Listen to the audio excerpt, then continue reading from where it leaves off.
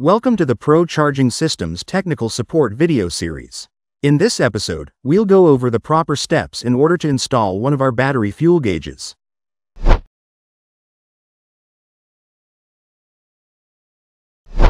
You will want to start by deciding where you want to place your gauge. Some have them mounted on the outside of their hull, others on their dash, or even placed in the battery compartment.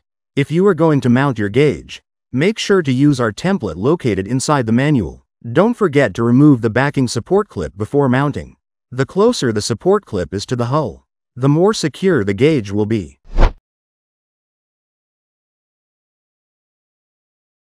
Locate the two wiring sets that were included with your gauge. If you have a lithium-compatible model, it will also have an additional CT wire set.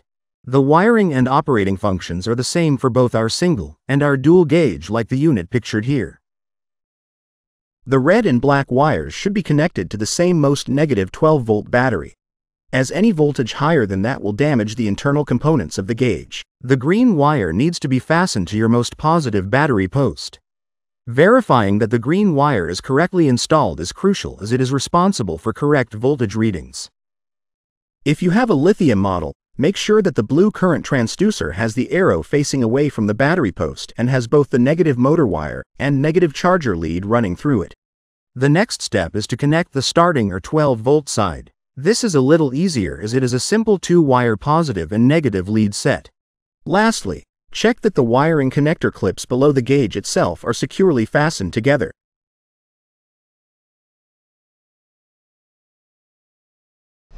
We now want to power up the gauge and verify everything is functioning correctly.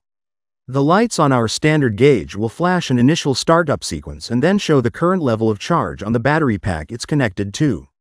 You will have three red, three amber, and three green lights to signify the level of charge. If it is a lithium model, you will start by having three amber lights flashing on the gauge until 13.8 volts is reached per 12 volt battery connected. Once this threshold is met, it too will switch to your current battery level. The gauge will switch into a standby mode after 60 minutes of inactivity on your battery pack, and have one light showing for the current charge level.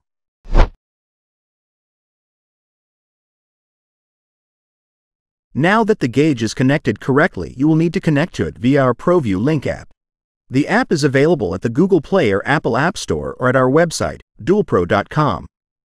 You will notice that the lights on your gauge will start to scroll back and forth, left to right and then right to left. This is our way of letting you know the gauge and app are currently connected. Once you have gone through the steps of connecting to the gauge, you will see all the current information that the gauge is collecting such as the device's serial number, present state of charge, the state of health, total pack voltage, and the active DC current level going into your batteries. If you want to find out how to rename your gauge, or change the charging algorithm to match your setup, by using ProView link, check out our YouTube channel to find out more. If you're not sure of something or just need a little more guidance, please reach out to our tech support team at 615 471 5300 or submit a support ticket at www.dualpro.com/support. We'll be glad to help you through any stage of the process.